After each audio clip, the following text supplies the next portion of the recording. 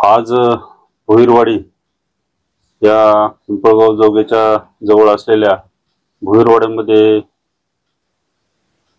तीन चार दिवसापूर्वी एक दुर् दुर दुर्दैवी अशी घटना घडली. या ताईंचं बाळ किंवा त्या आजींची नात सर्पदंशाने गेल्याने खरं तर या कुटुंबावर मोठा प्रसंग आणि आजींनी सांगितल्याप्रमाणे त्यांना एकुलती एकच ती मुलगी होती. खरं तर असं घडायला नको होतं.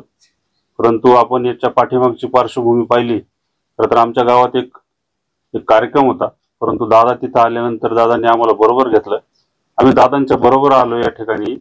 आणि इथून कमीत कमी वाणी साहेब आपण पण आमच्या बरोबरच आलो. तर इथं यायला पंधरा ते वीस मिनिटं लागतात.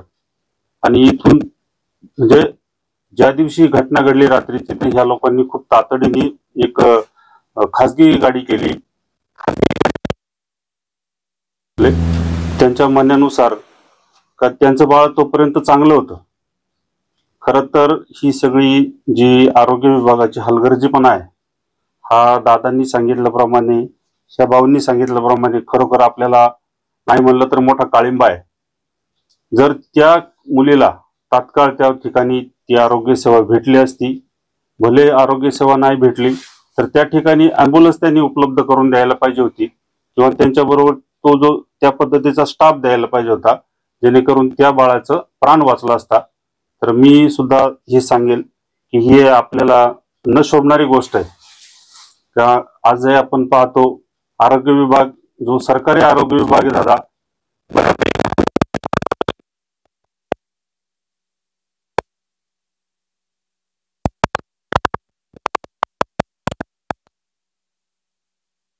ही खरं तर याच्यावर जनजागृती झाली पाहिजे.